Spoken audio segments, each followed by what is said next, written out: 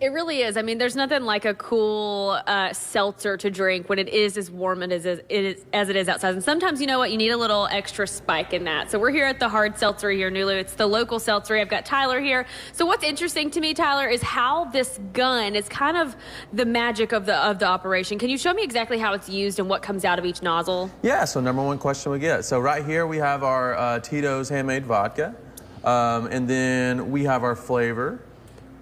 One of my favorites is blueberry, so that's what I'm going to go with right It's also now. very pretty. very pretty. And then, you know, the majority of the beverage is going to be filtered carbonated water.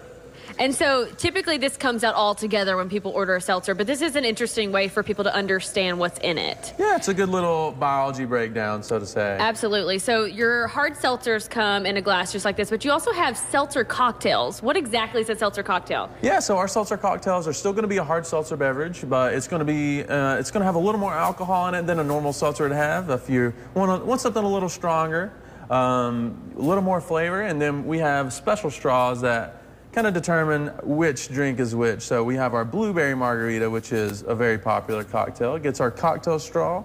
And then we have our uh, Harlow's Home, which is, you know, named after Jack Harlow, a Louisville legend, and uh, gets a cocktail straw as well. What are these flavors? So in this one, it's going to be a lot of tropical flavors. It's going to be peach, pineapple, and a lot of mango. You have different um, straws for each one. What do these other ones mean, and why do you do you recommend drinking out of a straw? Yeah, so um, we do have three types of straws. We have these for our regular seltzers. Uh, we have our white ones for our non-alcoholics, and like I said, we have our cocktails. Um, the reason why we have three is just to indicate, especially if underage people, people with that can't drink, and then we do recommend drinking out of a straw. Um, it does hold carbonation a little better and um, it actually enhances the flavor of anything that's carbonated. Wow, that is so interesting. So, guys, there I know that we've said this morning that it's one of the few uh, hard seltzeries in the country. This is actually one of four in the entire country, which is so cool. And they actually just started canning. So, coming up next, we're going to show you how all that works and how you can take them home to enjoy there. Even better. Yeah. Oh, Carrie's already got her eye on the Jack Harlow.